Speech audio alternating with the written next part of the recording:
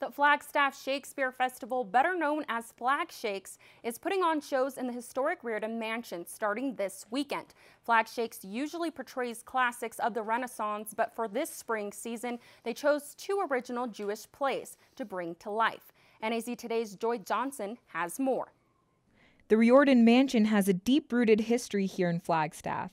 It was built in 1904 for two families that played a vital role in establishing Flagstaff's early lumber industry and Flag Shakes director Garrison Garcia appreciates the architecture and the old home's character. The Riordan Mansion has a lot of history in Flagstaff, and exploring a play that has such, um, such traditional roots in place and time was really important to us.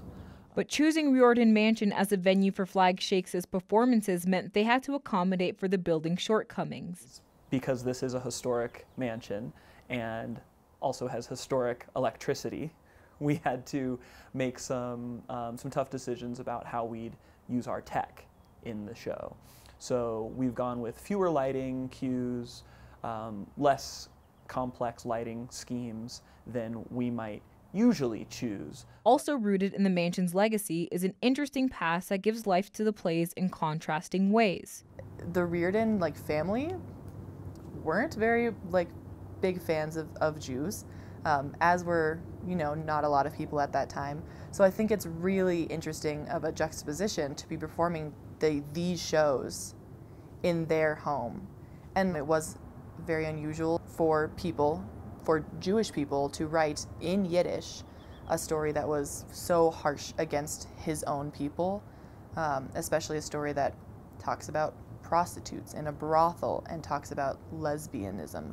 Um, and it was a really, really big deal then. And I think it's still a really big deal right now, especially because we're performing this during Holocaust Remembrance Weekend. Although God of Vengeance was written in the early 1900s, the themes that appear throughout the play are still relevant to our society today. Illustrates family dynamics in a way that maybe we don't like to talk about them. Uh, it's a very uh, combative family, and there are a lot of things they struggle with, and it's all out there. Um, and how you see yourself and how society sees you and what you're trying to do to be a good person.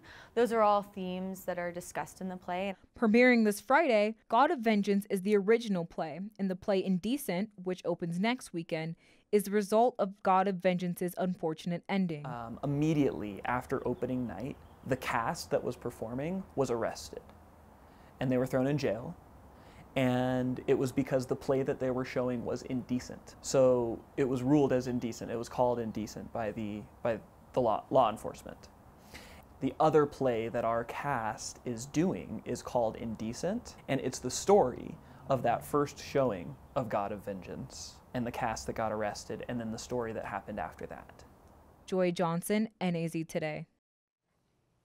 For more information about dates and ticket pricing for these shows, visit flagshakes.org.